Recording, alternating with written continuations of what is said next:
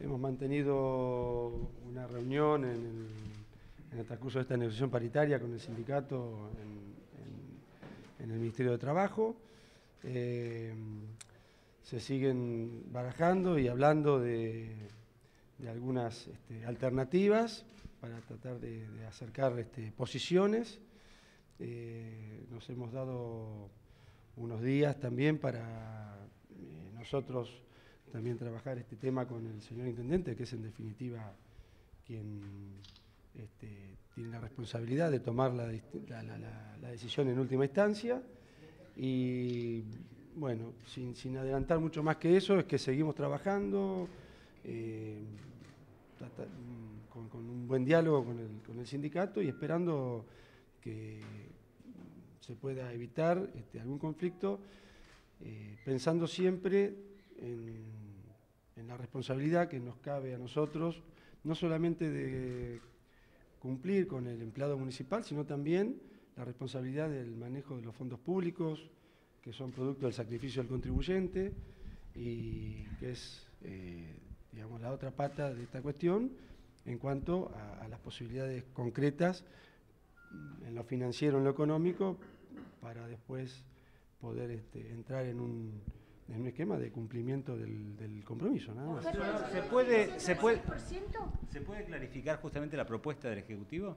La propuesta del Ejecutivo era, es eh, en concreto un, un 6% de recomposición eh, que acumulativamente, eh, si tomamos desde octubre, llegaría alrededor de un 34, 34,5%, 34.6% eh, de, lo que sería la recomposición final de este año. Esta es la misma propuesta de la última reunión que tuvieron.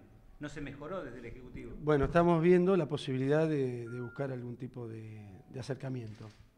Tampoco es eh, la, posición del sindicato en cuanto al 12%. ¿Cuáles son las otras posibilidades? Y estamos este, con algunos puntos ahí trabajando a ver qué factibilidad y qué posibilidad podríamos tener nosotros aunque hoy lo, factible mm, de lo trabajado hasta acá es los seis puntos que habíamos manifestado, pero quisimos, creo que de ambas partes, dejar todavía el, espacio para poder trabajar y, como decía, evitar este, el conflicto que en definitiva termina perjudicando siempre a, sectores más vulnerables de la sociedad, un, paro municipal. El miércoles que viene, ¿podría haber una mejora, aunque sea en un punto, de esta propuesta que es la misma de la última reunión?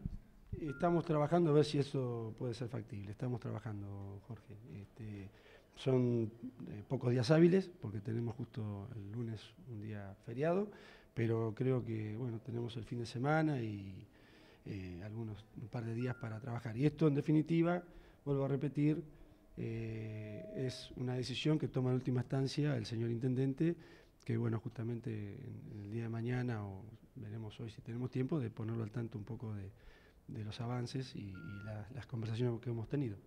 ¿Esto de 34% es uno de los aumentos más importantes de los municipios?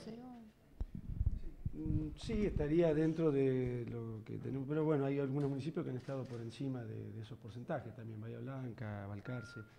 Eh, pero bueno, yo creo que es un tema local, este, está así en el contexto de lo que ha pasado en, la provincia, también de los eh, incrementos que se han dado desde el punto de vista de, de las propuestas salariales a nivel provincial, oficiales, en las distintas áreas. Y bueno, es todo un contexto que también este, nosotros tenemos que manejar para, para, tomar una decisión, los índices de inflación, en fin.